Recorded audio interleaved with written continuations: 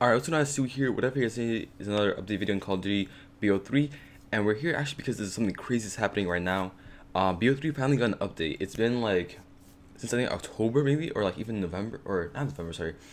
Like October since we got a last update, but finally we got a new update here. Uh, update 1.27 here. As you see, I'm downloading it right now.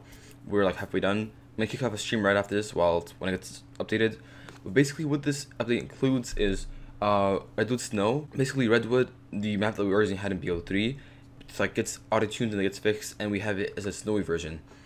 Literally, it's really cool. And I'm gonna put a picture up on screen now of it. Looks really dope, honestly. And this is from this one, by the way. Thank you, this one for that.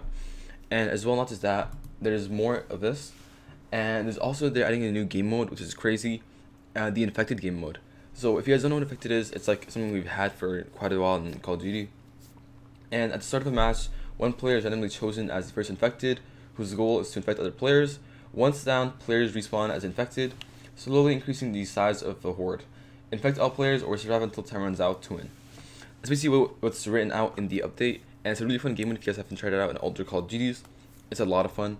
And by the way, the description for the new update as well, or sorry for the new uh, map, is called Enter the, the snow-capped landscape of Redwood Snow to experience something colder from the map that you know and love.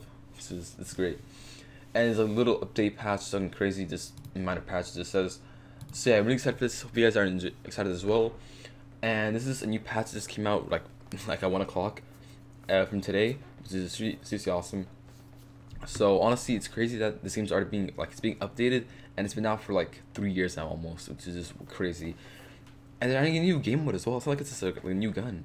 And by the way, let me also realize the size of this update is pretty big there could be new weapons. My friend AK said there might be hints of the new XPR 50 and what else was there? There's an XPR 50 that might be coming and something else as well. It is the I forgot the name of it. What's the name of it?